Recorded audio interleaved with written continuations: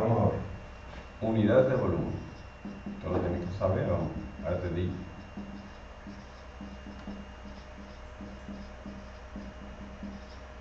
Están los metros cúbicos, voy a poner la unidad que va a usar, los decímetros cúbicos, los centímetros cúbicos y los milímetros cúbicos. Para química se usan este y este.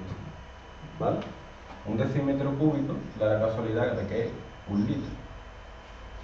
Si una caja de 10 centímetros por 10 por 10 tiene un litro. ¿Vale?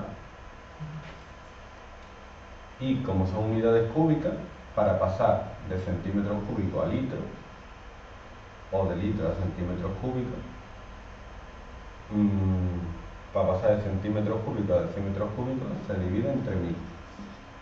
Para pasar de litro o de decímetros cúbicos a centímetros cúbicos se multiplica por mil.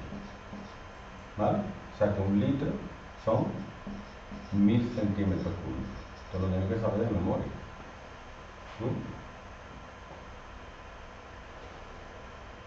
Entonces, típico en algunos problemas te dicen 400 centímetros cúbicos, de lo que sea. Y lo tenéis que poner litro. Un litro son mil centímetros cúbicos que es 0,4. ¿Vale? Ya está. Esto es lo que tienes que saber de las unidades de volumen. Un decímetro cúbico es un litro. Y un litro son mil centímetros cúbicos. Y una vez que haga eso ya lo sustituyo en la fórmula, ¿no?